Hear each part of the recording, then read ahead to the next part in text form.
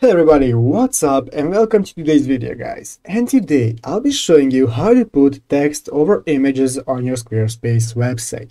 So yeah guys, make sure to watch this quick and easy video till the very end and follow my steps correctly so you can make sure you can do this yourself and this works the same for you. But yeah guys, let's get straight into it.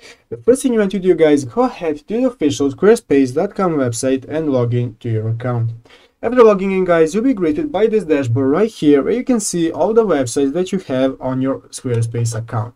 As you can see, we currently have only one website called tutorials and this is the website we'll be using for today's video. So guys, the first thing that you do is go ahead and open up this website in the page by clicking on the, uh, the name of the website right here and as you can see, now this will open up our website in the page.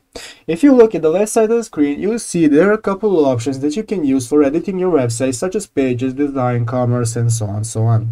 But guys, we want to go ahead and open up our website in, in editorial mode by clicking this edit option in the upper left corner. So guys, go ahead and click on edit and now you'll be able to edit your website by putting your mouse anywhere you want. You can change the text, you, you can change the buttons and so on so on. So guys, you can see here we have an image that we have added to our website.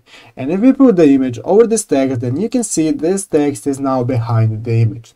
So guys, all you have to do to put the image behind the text is go ahead and click on the image and then you want to go in the upper side of the screen, you want to click this option right here called move backward.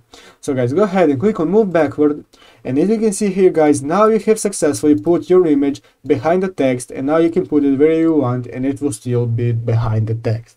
So yeah guys, that's how you do it. I hope this video was helpful. If it was, make sure to leave a like and subscribe to the channel. So yeah guys, thank you for watching, take care and bye.